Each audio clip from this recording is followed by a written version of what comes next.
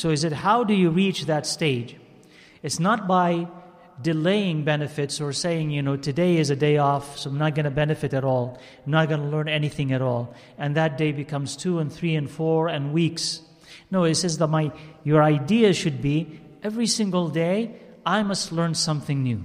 I must attain something that I did not have before. Learn something new that increases me in iman, increases me in practice. Similar to what? You know, there is no day that's going to pass that you're going to say, Today I'm not going to sleep. Today I'm not going to eat. Right? Because you need constantly something to give you energy and to nourish you and to give you uh, sustenance for tomorrow. You need that all the time. So it's the same thing with learning.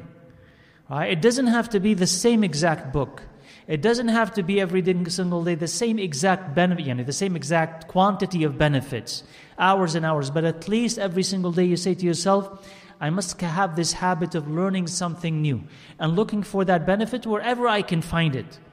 So, this book and that book, this sheikh and that sheikh, this lesson and that lesson, that's what your intention is. This is the attraction. So, he says, if this is your intention, I want to learn something new every single day and apply it every single day. He says, this is how you'll be able to attain excellence in knowledge because your aim is high. Uh, and you want to keep learning. And you're not satisfied with what you have, but every single day you want to learn something new. And he says, وَطَرِيقُ الْإِسْتِفَادَةِ And the way that you'll be able to benefit, one way that you'll be able to benefit, أَنْ يَكُونَ مَعَهُ فِي كُلِّ وَقْتٍ مَحْبَرًا He says that every time you will have some ink with you, meaning that you'll have a pen and an ink and paper. You will be able to record whatever benefit you come across. حتى يكتب ما يسمع من الفوائد العلمية. So you're attaining a lesson, you're reading a book, meaning that you will have a notebook with you. Today you may say, I don't need it, I have my phone. So a lot of people use their phones to record whatever benefits come across, whether they record the audio or they sit and they write it down. Either way.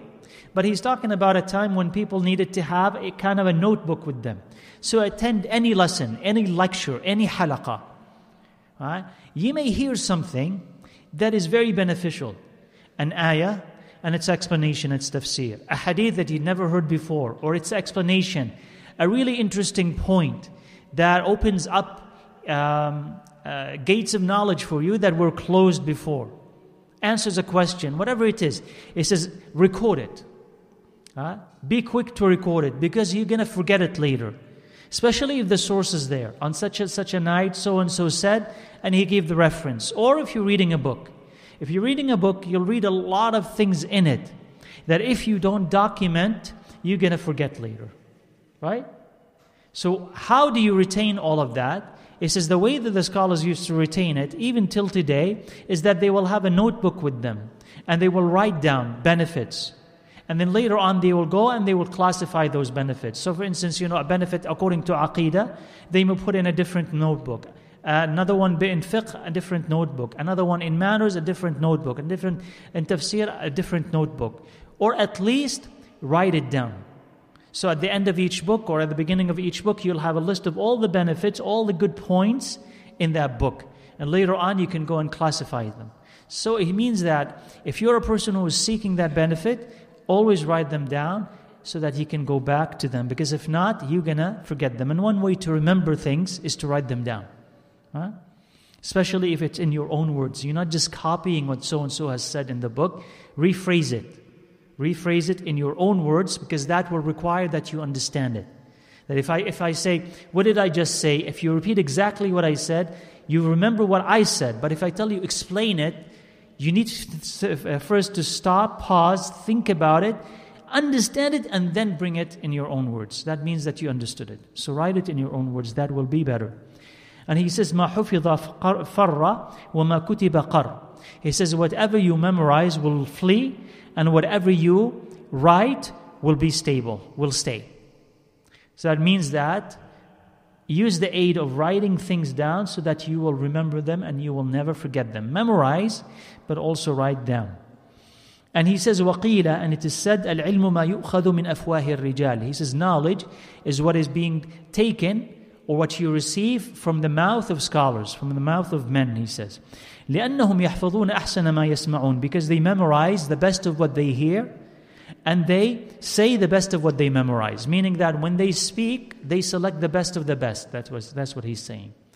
So that he's telling you the shortcut is that if there is a scholar and a person who is actually established in knowledge and he's sitting and teaching, that would be really the shortcut to knowledge.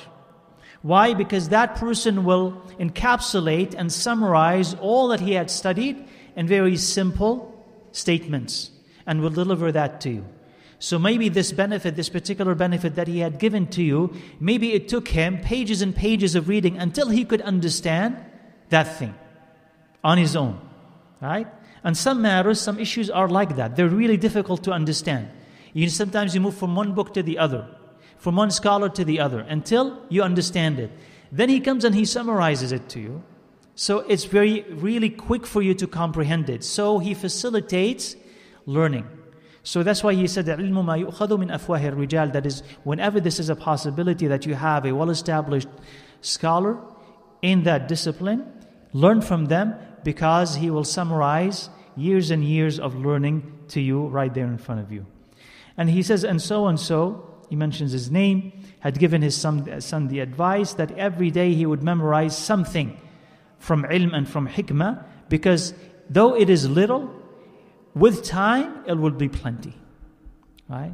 So even if you say to yourself, you know, okay, it's hard for me to memorize uh, the Quran or it's hard for me to memorize Surah Al Baqarah, you say if you take it, for instance, and I know that ayahs vary in length, but if say if you take one ayah a day, right, which to maybe many uh, may not be so much, right? Talk about just an average ayah. I'll just memorize that every single day. Well, in a year, you'll find that you've memorized something significant without a lot of effort.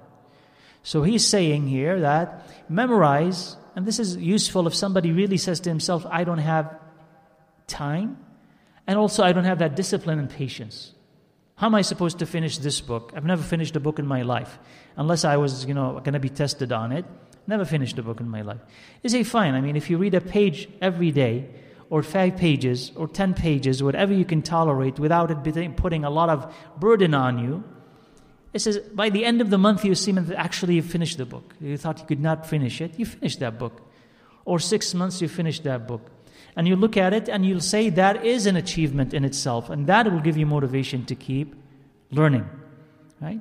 So he says, memorize or read something simple every single day. You just have a plan, it's as simple as that. You can pick a time after Fajr. Remember, we talked about this before, right? After Fajr, before I go to bed, between Maghrib and Isha, just pick one time where you know it's peaceful and you have a clear mind and you have usually the appetite to go and do something And just give yourself 10 minutes and see. And with time, and with dedication and consistency, you'll find that you'll be able to do this. And of course, with dua, right? And he says, and so and so, he says, Isam ibn Yusuf, he says he bought a pen with a dinar. ليكتب ما يسمعه في الحال so that he could write what he was listening to at this particular moment meaning that he paid a lot of money so yani, what he's saying is that in one of those times he was sitting he didn't have a pen with him he had heard something and he wanted to document it at that particular moment so he bought it with a dinar which is a lot of money for one pen but he's why he says because it was precious learning was precious so, buying the tools of knowledge so that he doesn't miss out on that and not forget it was also precious. So, he says, فَالْعُمْرُ قَصِيرٌ Our time on this earth is limited. وَالْعِلْمُ كَثِيرٌ And knowledge is plenty. And there's no limit to it. So that in order for you to attain what, whatever you can of it, you need to dedicate yourself to it and you need give, to give time to it and you need to be consistent. So he says, uh, the seeker of knowledge shouldn't waste his time shouldn't waste his hours and will should seize the nights and seize his free time. Right? So whenever free time you have, uh, whatever you know, especially during the night when it's peaceful, there's no, not a lot of disturbances, is to seize those moments because those moments eventually will accumulate to become something important. That is the difference between an ignorant person and a knowledgeable person. A difference between a person who is swimming in doubts and he has no answer to them and a person who has read enough that Allah has saved them from his doubts. He has answers already, or at least knows the path of how I can escape these doubts. By returning back to Allah Azza wa by asking Him for guidance He has in what He has read and answer already.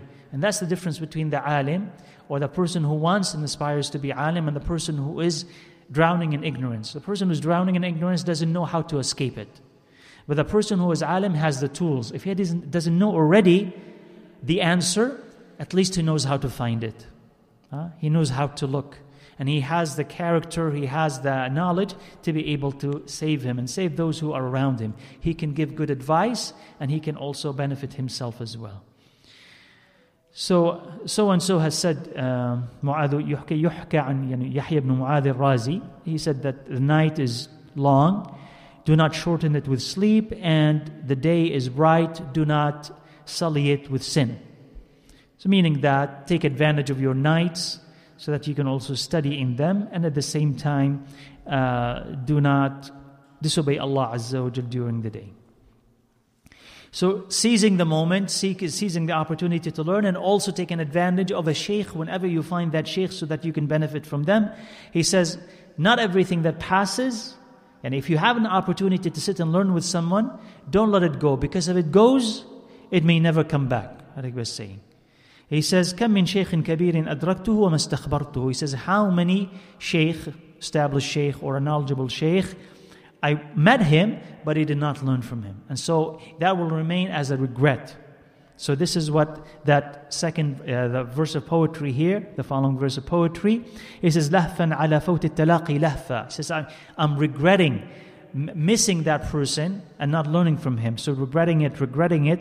Not everything that goes away can come back and be recaptured. So same thing for days. Same thing for youth. If it goes away, it, you cannot recapture it. And it is, um, you know, it's not important as long as you are young. As long as you're young, you think that you have all the time that you have in the world. You can always make it up. As long as you are free, you think that, oh, I'll be free tomorrow and the day after and so on. As long as you're healthy, you think, I'll be healthy all the time. Until all these ni'mas go away. And then you'll recognize how important they are. So he says, if you have them, and if you don't believe that, ask someone who's older. And he'll tell you that he was as healthy as you are if you are young. He'll tell you, as I was as healthy as you are, as carefree as you are, uh, as you know, whatever as you are. Huh? But now I'm not. Now I'm not as healthy. Now I have a lot of distractions. Now I don't have time. So I was just like you And everybody was just like you. And you'll become like everybody else who's older than you. So it's not mystery. The path is the same path. So take advantage of it before it goes away. And the following advice from Ali ibn Abi Talib uh, radiallahu anhu is important. He says, إِذَا كُنْتَ فِي أَمْرٍ فَكُنْ فِيهِ He says, if you're doing something, then do it. If you're concentrating, doing something, engaged in it, occupied by it, then concentrate. Don't be distracted by something else. Concentrate in doing this thing. وكفى بالإعراض عن علم الله خزيا وخسارة and it's enough disgrace and loss that you would turn away from the knowledge that Allah Azza wa Jal has sent down واستعذ بالله منه ليلا ونهارا and seek Allah's protection from it day and night so the first part of the advice here is important he says if you are in an issue in a matter just focus on it meaning that if you are in a halaqa and you're listening to it listen why did you come right I'm not, I didn't come here to text somebody else, right? So if you're serious, if you came in the halaqah because you want to learn, then sit and learn and focus. There'll be another time to do other things, but don't mix them up. If you're in a book, right, and there's this shahwa sometimes, you start a book, you get tired a little bit in the, in the, in the, in the middle, and you want to just close that book, skip it, and go to something else.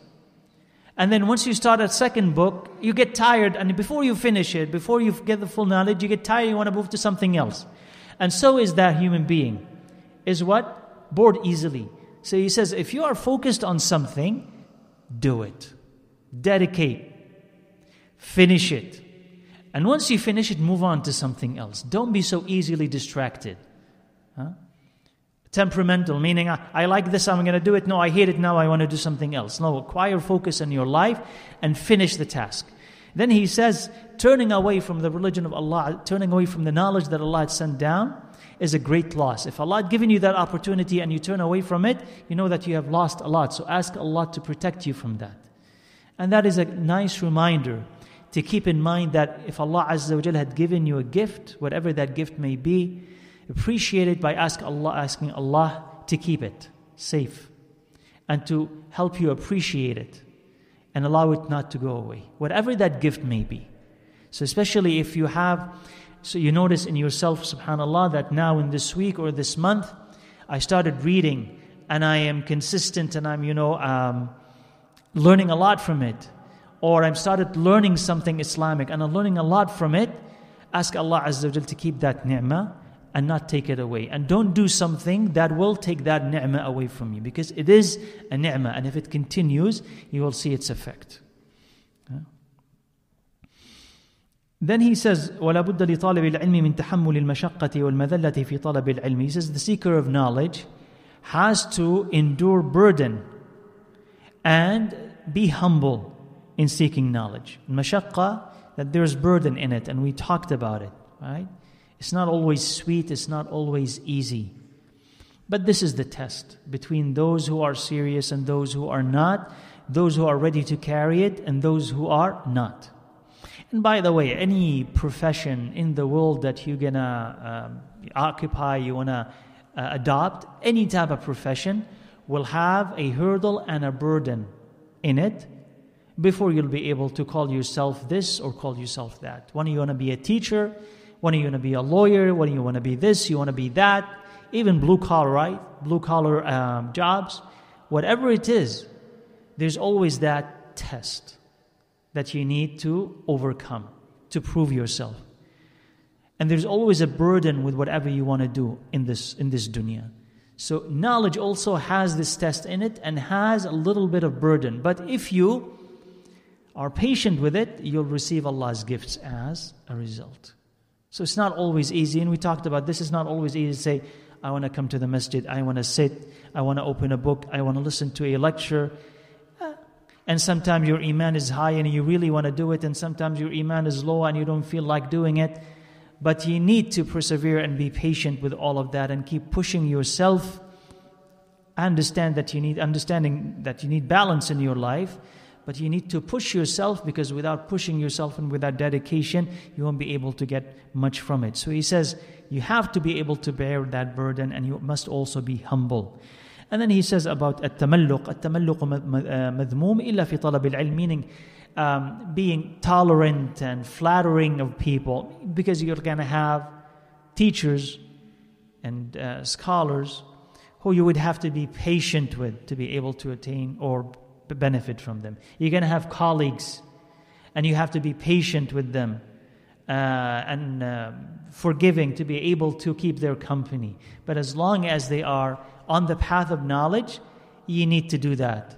And eventually you'll be able to get maximum benefit from it. So even if your teacher at times uh, may, may be in a bad mood, uh, you need to tolerate that.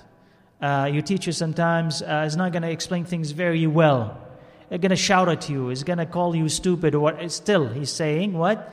As your teacher, you need to be patient with all of this because he's a human being after all, right?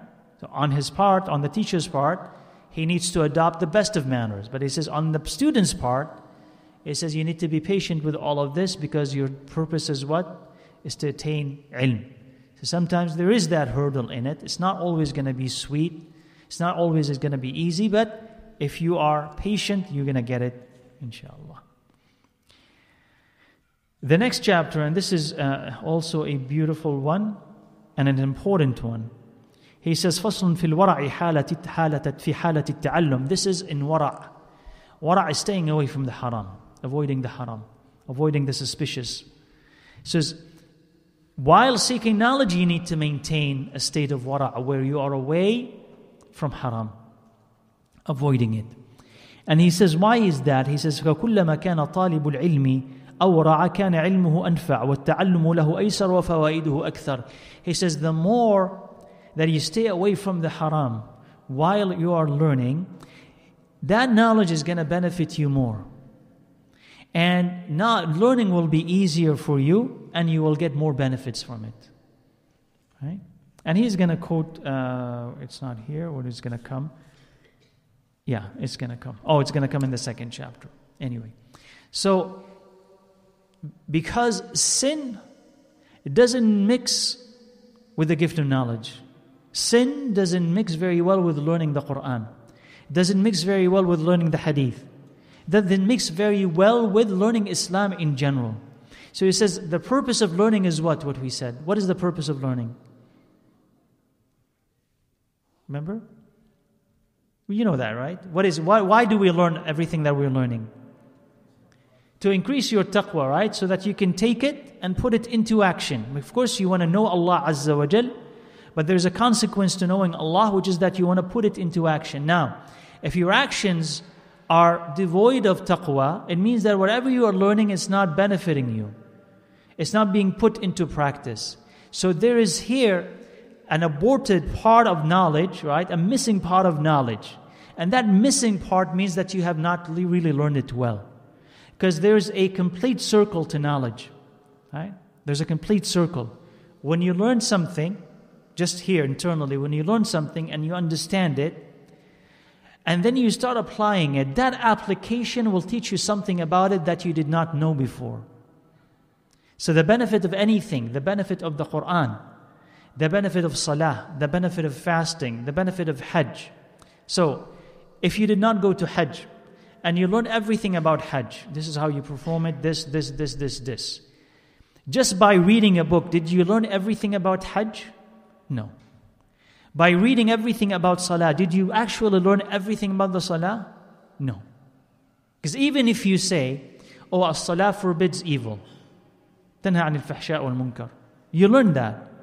But you're not really going to learn it until you pray and you're dedicated in your salah and you find out how it forbids evil.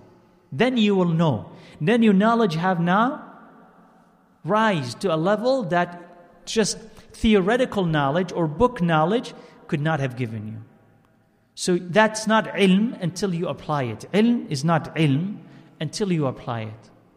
So you're not going to be given ilm until you stay away from the haram. But if you're committing the haram and learning, committing the haram and learning, is saying learning for you is going to be difficult. Because there's going to be an obstacle there. You've given the shaitan authority over your life with the sin that you're given. And you need to fight him to be able to learn. So, how could you be, fight him while also at the same time you're giving him power over your life? So, learning itself is going to be difficult. Understanding is going to be difficult And you're not benefiting with that knowledge. So that knowledge needs to be taken and needs to be applied. And here we are talking about wara. Wara meaning staying away from, away from the haram. And there's a level even beyond that. Okay? And that level is staying away from what is ambiguous or suspicious. Suspicious matters. But the first step is staying away from the haram. And there's more, inshallah, that's going to come. He says, وَمِنَ الْوَرَعِ الْكَامِلِ Now he's going to talk about extra wara' extra wara, right? And yataharraza ani shaba, that a person does not overeat. Okay? So why? This is, he says, from the adab. This is from adab, right? To stay away from what hinders seeking knowledge. He does not overeat. He does not oversleep. He does not overtalk. So why all of that? Because it contradicts clarity, it contradicts your energy if you want to really learn. So what happens when you overeat?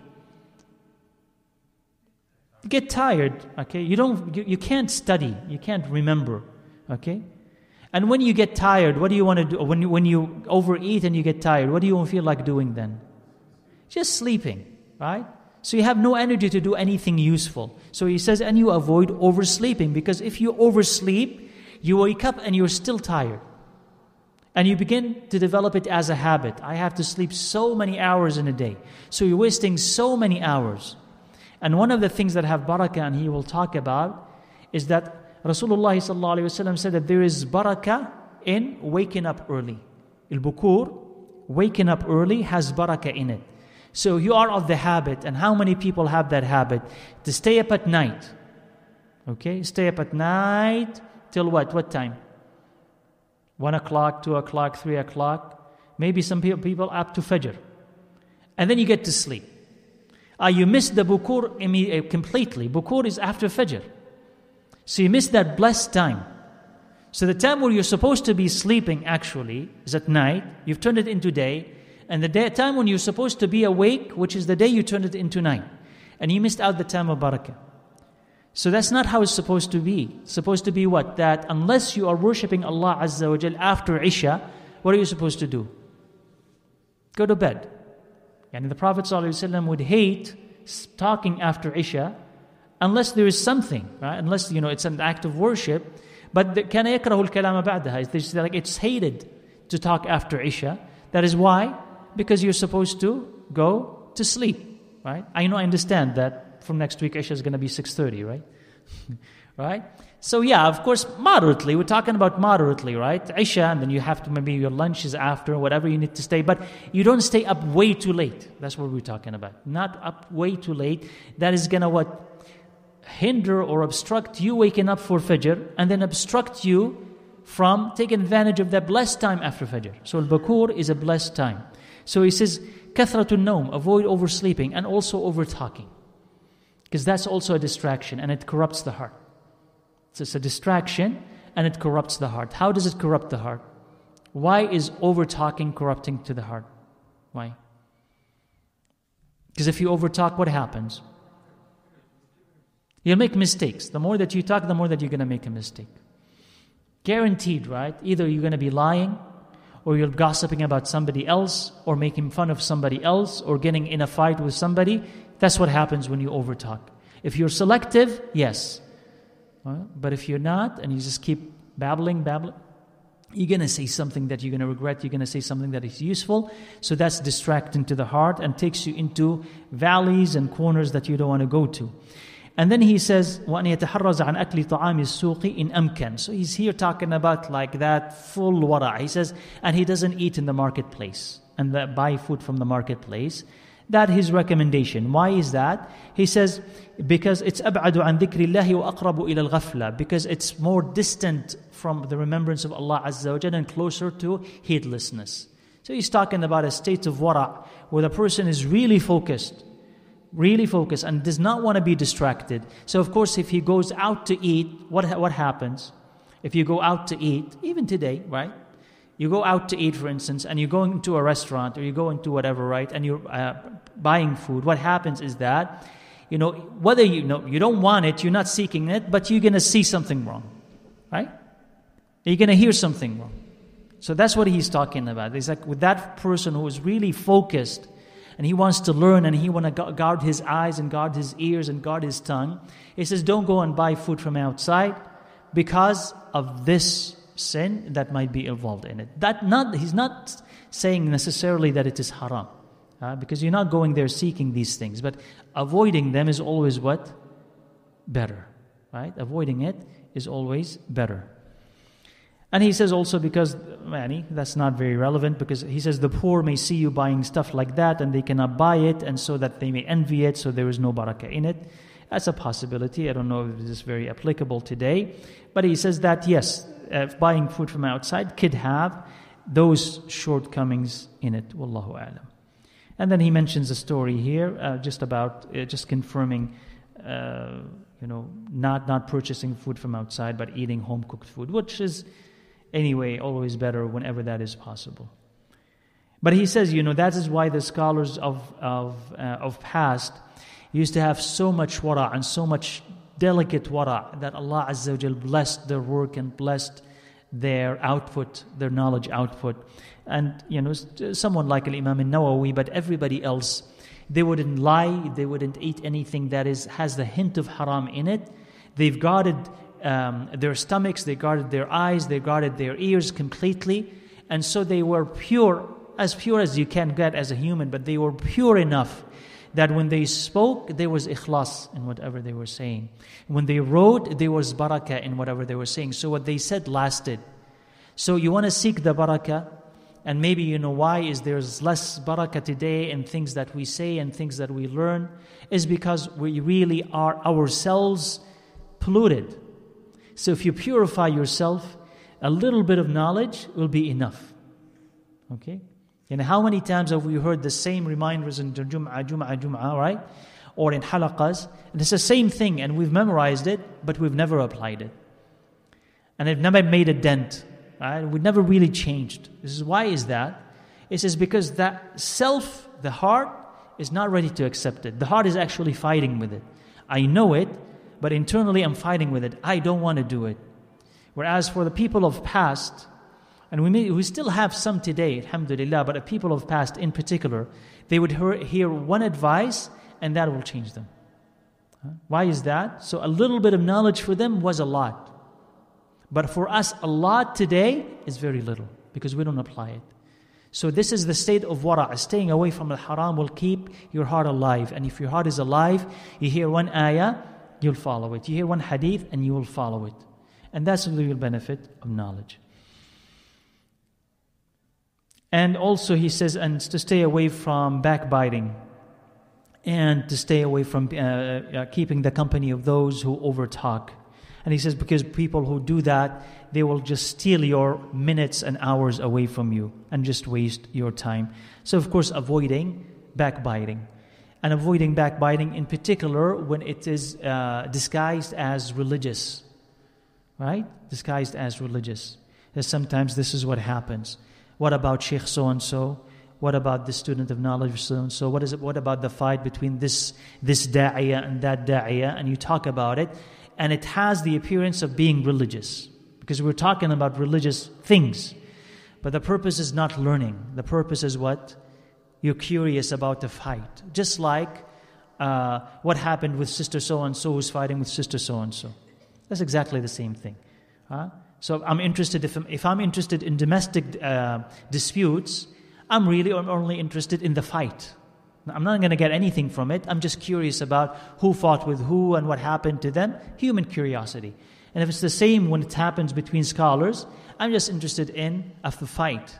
And I'm not really learning anything from it. So if this is not beneficial, and this really advice I hope that you can keep in mind if you're a person who had been exposed to this.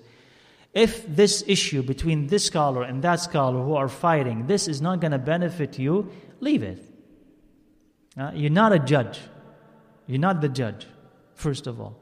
And it's not going to help you. So, why are you interested? Okay, leave it. And if you say the issue is confusing, well, I mean, learn enough to reach a level where that issue is no longer confusing to you. Right? You follow what I'm saying? That learn enough, right? Can, if I'm at, at a basic stage and those scholars are arguing about something that is advanced, you're not going to understand it anyway. You'd be more confused. And you listen to so and so, and you'll be thinking, oh, he's right, or the other so and so, maybe he is right. It says, leave this all together and learn enough, and then either one of two things will happen. Either by the time that you learn enough, they'll resolve that thing, you don't need to worry about it. Or if it's not already resolved, you'll learn enough that you'll be able yourself to decide so and so was right and so and so was wrong. But don't follow don't follow the trend. The trend is to talk about this or to trend or to condemn this person or condemn that person. And once we finish with them, we move to another group of people and we talk about those and so on and so on. So if that is what knowledge to some people is, okay, know that this is really not the company that you should keep. Leave that and actually learn something that's going to benefit you? And he says, and amin al wara also from wara, avoiding the haram, is to uh, avoid uh, people of corruption, you know, people of vice, uh, and to keep the company of the pious, because of course this is going to affect you.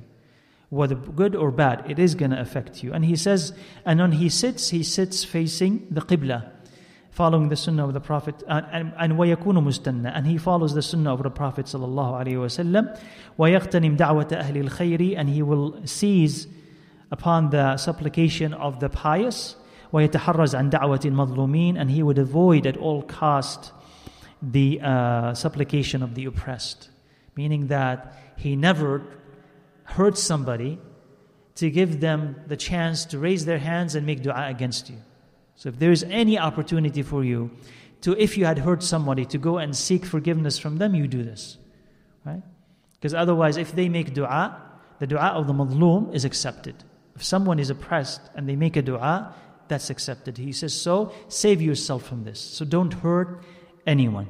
وَيَغْتَنِمْ دَعْوَةَ أَهْلِ الْخَيْرِ And you seek or seize the supplication of the pious. Not necessarily by you going and saying, so and so make dua for me, so and so making dua for me, but being in their company, being in their midst. Right? Because in that way, you will gain their dua. They will make dua for you as you are making dua for them. يجلس مستقبل القبلة One of the sunnahs, and it's only a sunnah, but one of the sunnahs that if you really want to learn, find where the qibla is and sit facing the qibla whenever that is possible, easy, and appropriate yani, for, for you to do. Because the Prophet ﷺ praised that direction, the direction of the qibla. So that also is a sunnah. And in general, follow the sunnah of the Prophet ﷺ. And he says the seeker of knowledge should never look down on uh, and forsake the manners and the sunnah.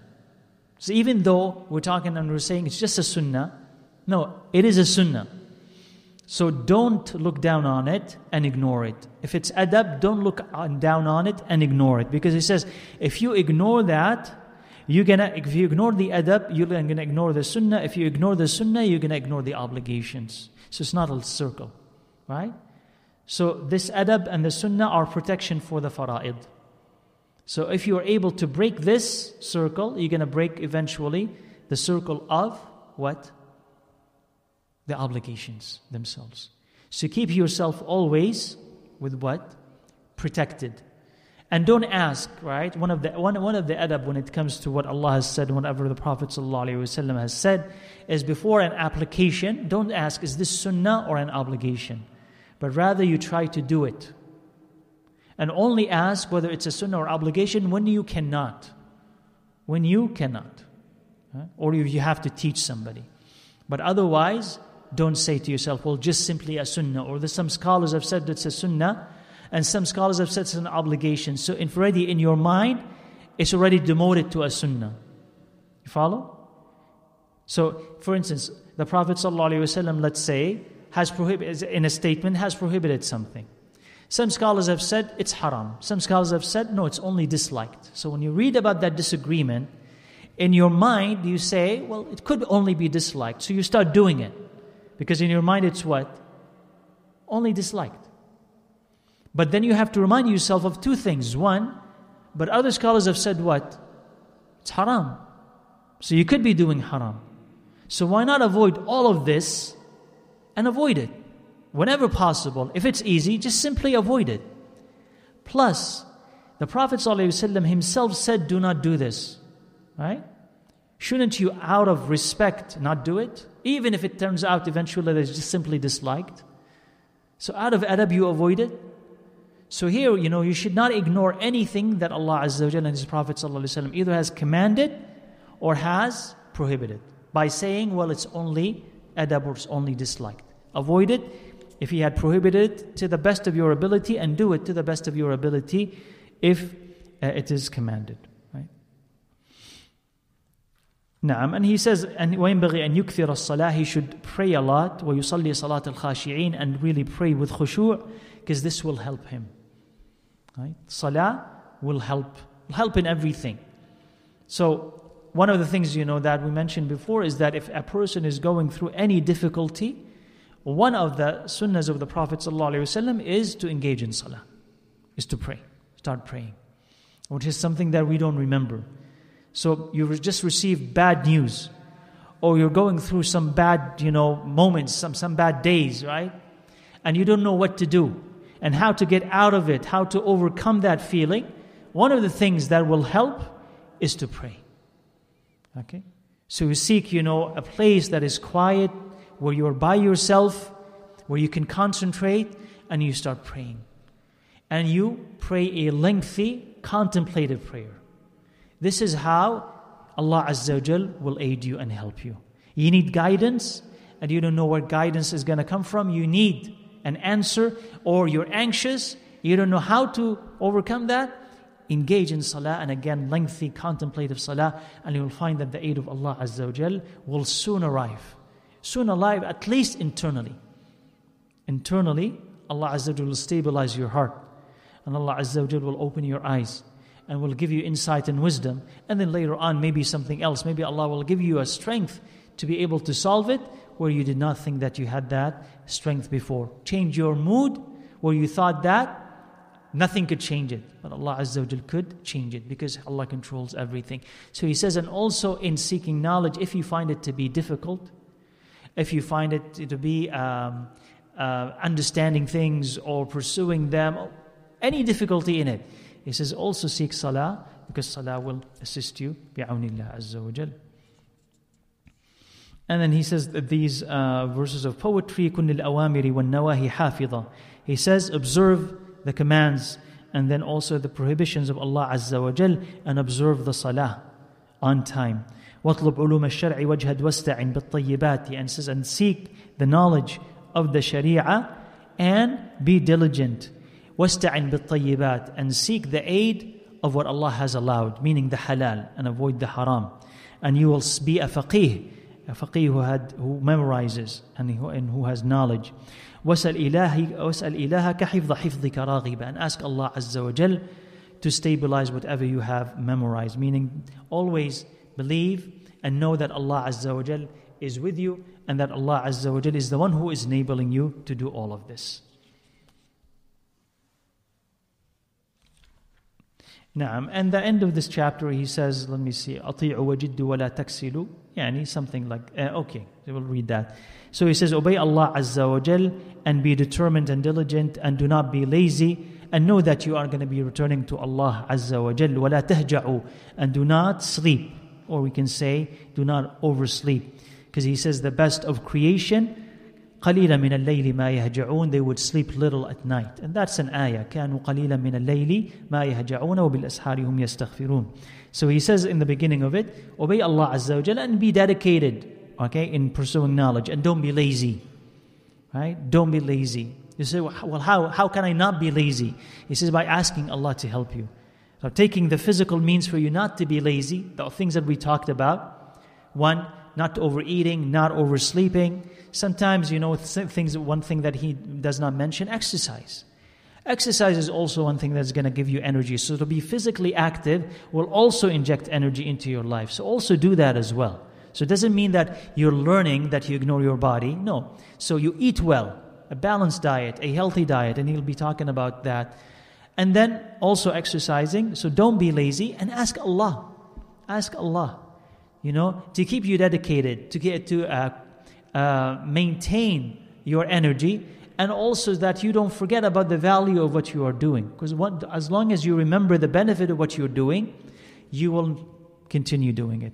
And know وَأَنْتُمْ إِلَىٰ رَبِّكُمْ تُرْجَعُونَ and know that you're going to be returning back to Allah Azza wa Jalla. So every single day that you're spending, actually, in reality, every single day that you're spending learning something, if it's for Allah, that is something that a day that you're going to see when you meet Allah Azza wa will be for you and not against you. And every day that you waste or you use to sin against Allah Azza wa is a day that is against you. So if you keep in mind that you are going to die, you say, Let me before I die do what? Get as much as I can in this life, from this life, for the hereafter. Let me get as much of it as possible. So, you know, imagine if somebody comes and tells you, you know, you're going to die in a month. Or you're going to die, and there are people actually like that. You're going to die in a month. You're going to die, you know, unexpectedly. Unexpectedly. You go to the doctor, and there are people like that in your city. You are going to die unexpectedly. And every single day when he or she they wake up, they don't know if tomorrow is going to be another day or not. So okay, so if you have today and you don't know that you have tomorrow, if you have today, what are you going to do with today that will be able to help you when you meet Allah Azza wa Jal? So you say, okay, let me do something that actually will help me. Learn something new, do something new, help someone. So this is how you take advantage of your life by believing that death is near. وَأَنَّكُمْ إِلَىٰ رَبِّكُمْ تُرْجَعُونَ This, yes, I am going to die one of those days. And he says, and don't oversleep because the best of creation, they used to sleep little at night. And this is the description as we said in the Quran, when Allah Azza wa was talking about those that He appraised, كَانُوا قَلِيلًا مِنَ اللَّيْلِ مَا يَهْجَعُونَ They would sleep little at night. وَبِالْأَسْحَارِ هُمْ يَسْتَغْفِرُونَ And the time of Sahar, which is the last part of the night, they'd ask Allah Azza wa for forgiveness. So, Your night should be a night of sleep, but also a night of worship. And that worship could be worship, you could divide it and make it a worship in salah, a worship in salah and reading of the Quran, or worship in salah and seeking knowledge in general. That also is worship. And the Prophet ﷺ, you know, his habit so that you'll understand if you want to divide up your night, how to do it. The Prophet ﷺ would sleep half of the night, then wake up and pray one third, and then sleep one sixth and wake up for Fajr.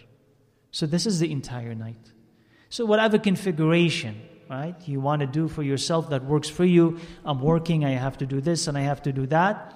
Adjust it, but know that this was the practice of Rasulullah. Half of the night he's asleep, then he wakes up and he prays. One third of the night, and then once he's done with that, he would sleep, you know, sort of take, you know, a nap before Fajr time and then he would wake up for Fajr, pray those two rak'ahs of Fajr, eh, the Sunnah, and then Fajr, and then get out. Because they did not sleep after Fajr, right? So you could follow, if your schedule and your uh, work permits that, you can follow that pattern, right? So they did not sleep after Fajr because they would sleep at the Qaylula time, right? Dhuhr time. That's the time when they would sleep and take a nap.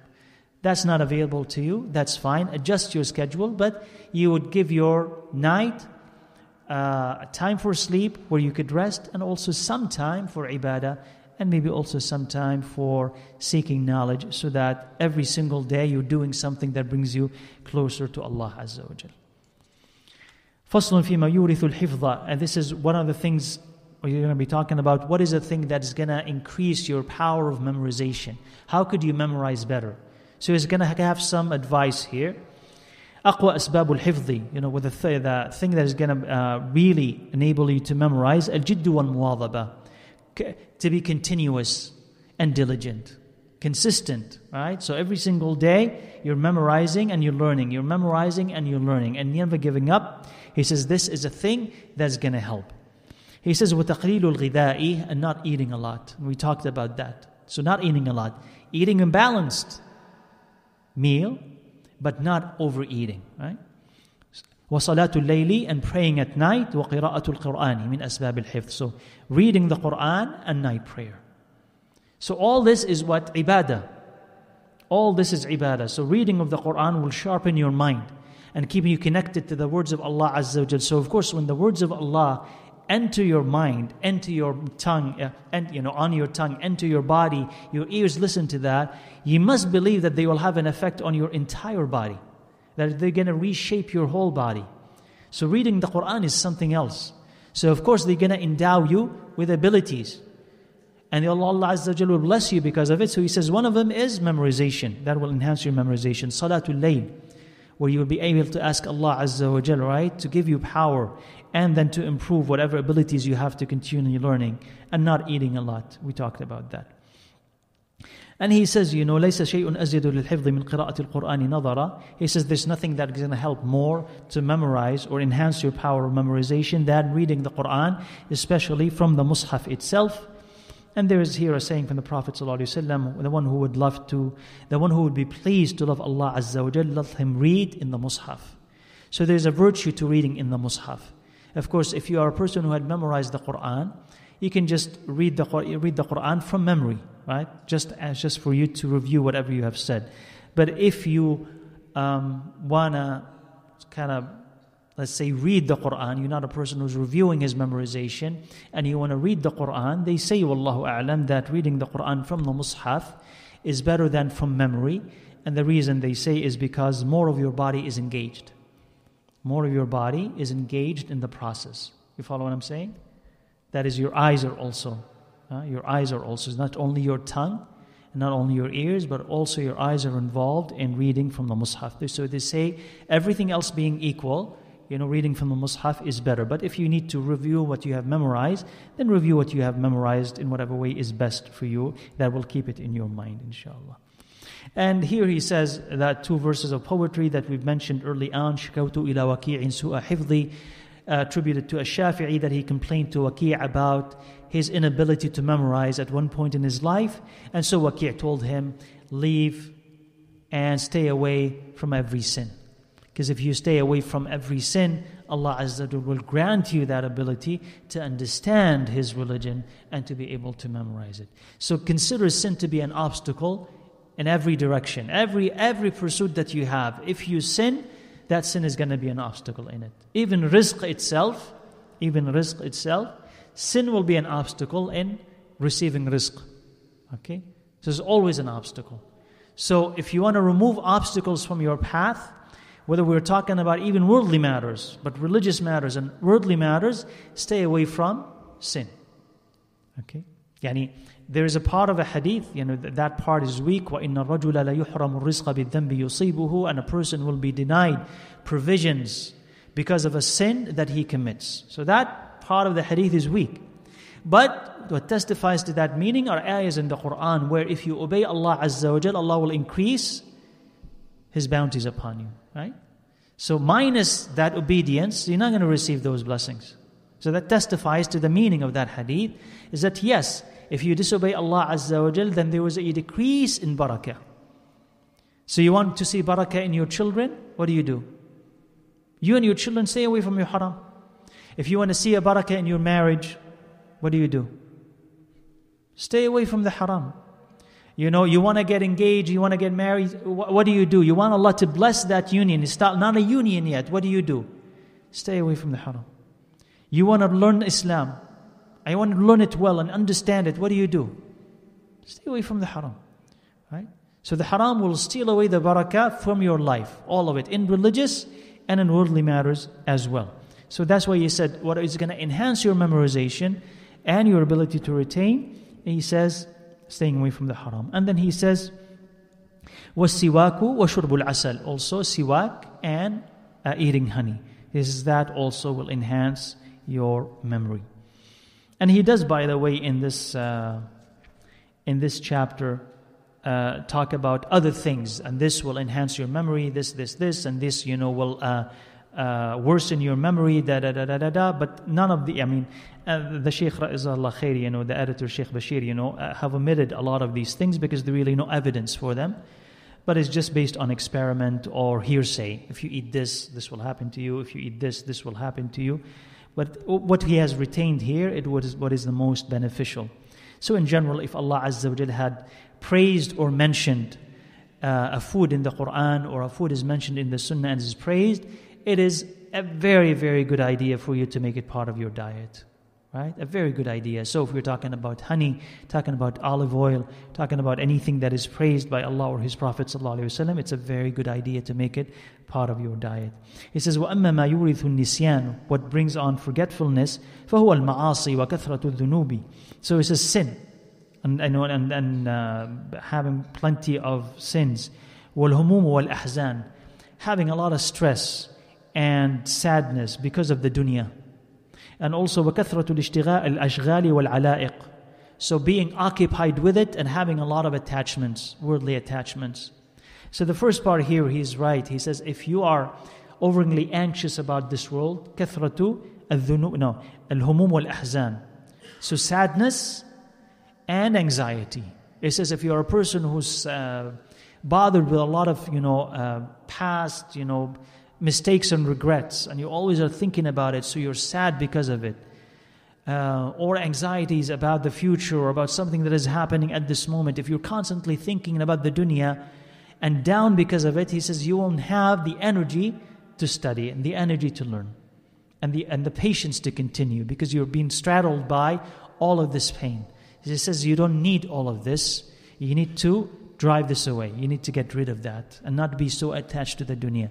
And if you have a lot of ashghal and ala'iq, you're busy in this dunya with this and this and this, and you you know attached to this and you attached to that. It says that also will, you know, uh, suck all your time and leave little for you to be able to concentrate and to be able to learn. So yes, you're gonna need to learn I'm sorry, you're going to need to work in this life and you're going to need to earn a living and you have your academic pursuits and all of this or that. He says, but you, when you're done, you know, just concentrate on what Allah Azza wa wants and leave matters of the dunya to Allah Azza wa If you're worried about something, give it to Allah. If you're sad about something, give it to Allah Azza wa and concentrate on really what benefits you and try to decrease your attachments to this life.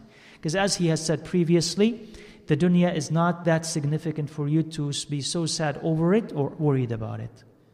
Whatever you have been, whatever you've lost, you can find again. And whatever you are worried about hasn't happened yet, so you don't need to worry about it. It may never happen. And if it happens, Allah Azza wa will assist you so it's not going to be as bad as you think it's going to be. So, no need for you to be sad and no need for you to be worried. Leave the dunya, it is so insignificant in Allah's eyes, and focus on what Allah considers to be the most important thing, which is the hereafter. Focus on the hereafter, and Allah Azza wa will drive away the concern of the dunya from your heart. But if the concern of the dunya is in the heart, it's hard for you to care about or even have the mood to even hear about anything about the hereafter or anything that is religious.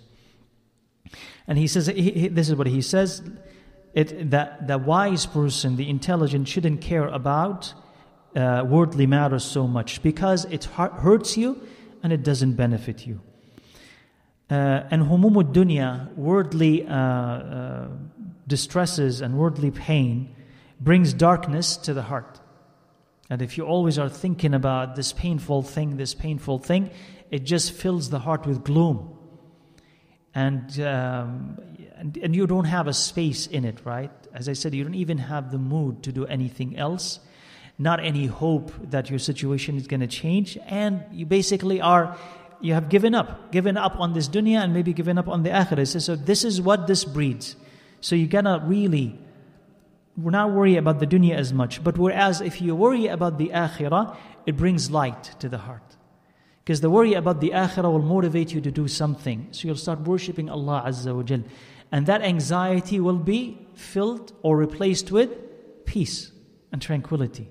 So in the beginning, yes, you'll be, be worried about hellfire, but when you start worshipping Allah Azza wa Jal, you'll feel its sweetness. And so it will bring peace to you. The worries of the dunya, on the other hand, they don't bring any type of peace or satisfaction. So the worries of the akhirah are beneficial, the worries of the dunya are not. قال ويظهر أثره في الصلاة he says you will see the consequence and the trace of your hem in the salah.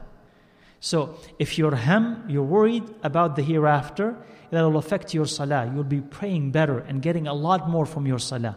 If you're worried about the dunya, how does it affect your salah? Hmm? You don't, you don't concentrate, right? You don't, you don't, sometimes you don't even want to pray. You don't even want to pray. And if you pray, your mind is not there. You forget how many rak'ahs because you're thinking about something else. So he says it just brings darkness to your mind and darkness to your heart. So why should you do this to yourself? Allah can solve this. So remember always that the matters or the pain of the dunya, Allah said, You don't worry about it, I'll take care of it pain of the dunya, Allah said, Don't worry about it, I'll take care of it. You worry about the akhirah. Okay? You worry about the akhirah.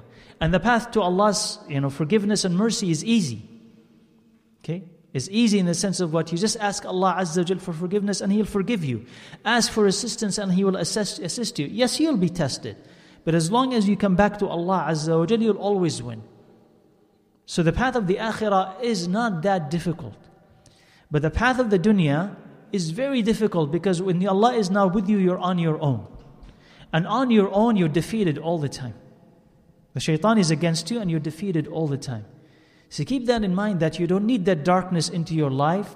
Focus on the akhirah. And again, balance. It's not like focus on the akhirah, neglect your wife, or neglect your kids, or neglect your parents. Oh, we need your help, we need some money. No, I'm focused on the akhirah. That's not balance. Okay? لكل حقه everyone has their right okay yourself has a right upon you your parents have rights upon you your spouse has rights upon you. You need to give everybody their right. Your children have rights upon you. Everybody has his right. You can't just sacrifice one's right because of somebody else. You can't say i'll be learning the quran and neglecting all of you because of it. That, that's you've, you've sacrificed something that allah had commanded you not to and you'll be questioned on Allah Azza wa Jal. Right? So, forget about the worries of the dunya and worry about the akhirah, right? Now, فهم الدنيا يمنعه من الخيرات وهم الأخيرة يحمله عليه so the you know, worries, uh, uh, uh, worries about the dunya will stop you from doing good worries about the akhirah will actually will propel you to do something good and he says I'm praying with khushu' وتحصيل العلم praying with khushu' and attaining knowledge that will drive away sadness and that's amazing subhanallah if you actually think about it do, why are you sad okay a lot of time we are sad because Sometimes, really, or a lot of times, we have a lot of time to think about matters that make us sad. You have free time, right? And so the shaitan takes advantage of it and tries to destroy you because of that thing, because you're just your mind and nothing to occupy it. So it keeps wandering. Okay? And it usually gravitates towards pain of the past or the anxieties of the future, what happens here and what's going to happen then. So he says, instead of this, if you fill your time with something that is useful, especially something meaningful, that's going to drive away these thoughts and those occupations and sadness in general. And you will feel better. Subhanallah. You will feel better about your life and you'll feel better about whatever, right? You know, the future and the present and the past. The more that you see, I've done something good. I've attained something good. So one of the ways of pushing away sadness is learn the Quran, understand it, learn the hadith, understand it, learn this deen, understand it, and you'll feel that you've gained something, and yes, something meaningful that will help me uh, in the future, bi'idhnillah. And he says, Naam. So he says uh, two verses of poetry. Uh, someone is speaking to himself and he says, O Nasr ibn Hassan, seek the assistance, meaning of Allah, and everything that you wanna keep and every knowledge that you wanna retain.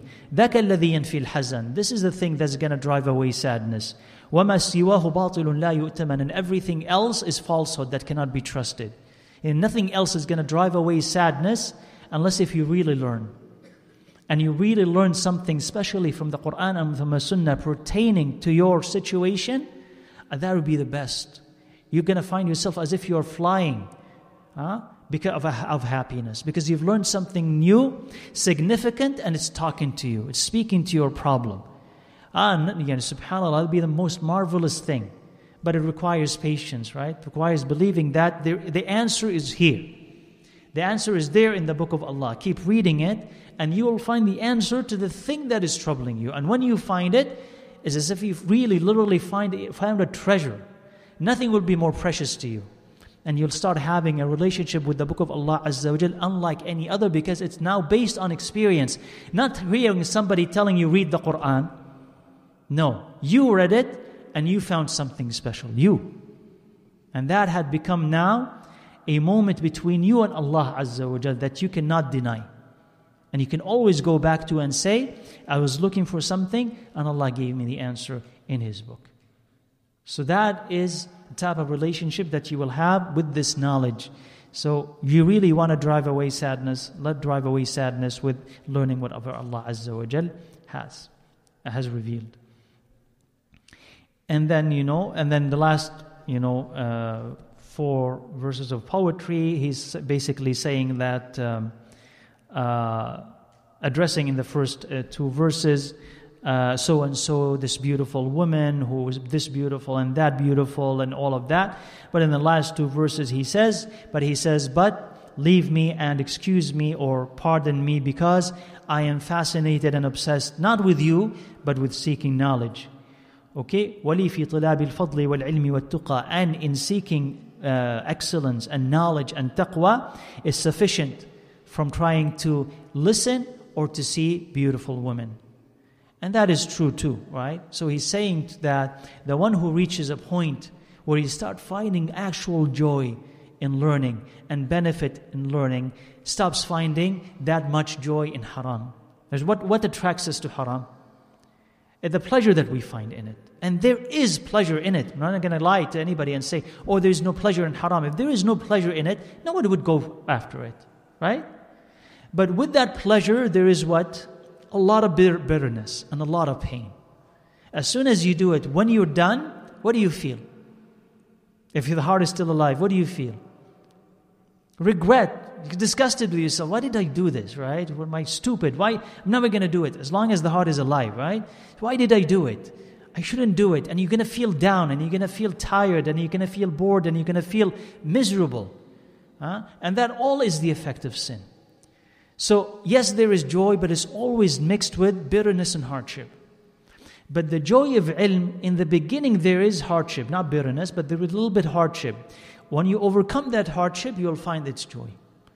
And when you find that joy over there, it will be a better substitute for any joy that you can find in the haram. Like literally, seriously. Seriously. And if you tell yourself or you ask yourself, was a question that we ask ourselves at times. He says, okay, and I'm trying to do the right thing, but it's hard.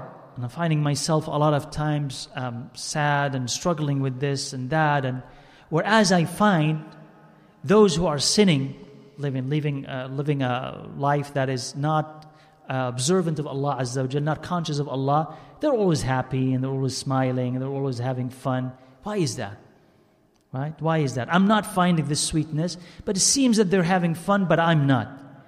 It says, because you exist at a level where you have not reached the sweetness of that life yet. You're still struggling at the surface. So you need to push yourself harder. You're going back and forth between you and that, that previous life, and you're still looking at it. And you haven't found that yet the sweetness of Iman that is going to allow you to drown in the love of Allah Azza wa Jal, in the love of the Prophet Sallallahu Alaihi Wasallam, and really, really, truly enjoy it. So keep pushing, and you're going to find it. And ask Allah Azza wa for it. And don't think that those who, uh, I don't know, record themselves and take pictures of themselves or proclaim that they're happy, sinning against Allah Azza wa are really, seriously happy. They're not. Right? There's an aura, there is a facade, there is an appearance of happiness, but on the inside, no single human being escapes stress and worry and anxiety and self doubt. No single human being, no matter how rich or poor they are. Right? And especially if you are away from Allah Azza wa Jal, it starts accumulating, accumulating, and accumulating until it reaches a point, the breaking point. But you keep pushing.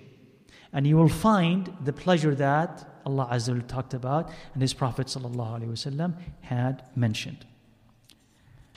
So we have one more chapter, and I'm wondering if I should continue or we can leave this till next week. Uh, what brings on provisions, what stops it, what increases one's uh, life, and what decreases it. So it's not very long. So we can leave this till next week, so we can finish it and then start with the next book. And as I mentioned, inshallah, the following book, uh, which we'll start inshallah next week, is Min Adabul Islam. And uh, it's available in the bookstore in both the Arabic and the English translation. So you can get that inshallah from it either before Isha or after Isha inshallah. So let's leave a little bit of time to see if there are any questions, and if not, we can stop. So um, you could get ready for Isha inshallah. Um, yeah, and th- so that I don't rush uh, covering the second chapter, the last chapter, and to give you enough time, inshallah, for it. So, yeah. What is it? I'm sorry, what? Uh, so in Arabic it's called Min Adabul Islam, Min Adabil Islam, and in English it's called